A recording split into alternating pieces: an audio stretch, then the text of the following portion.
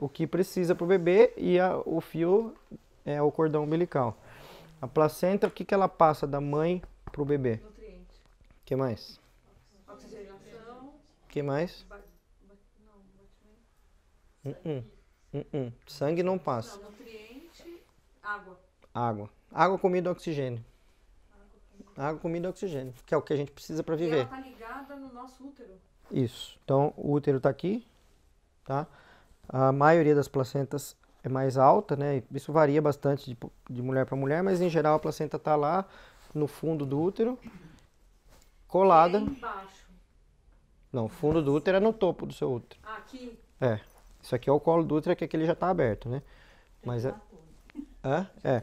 Bom, tem placenta que é anterior. A placenta anterior, se eu estiver olhando para você, ela é no teto aqui da sua barriga.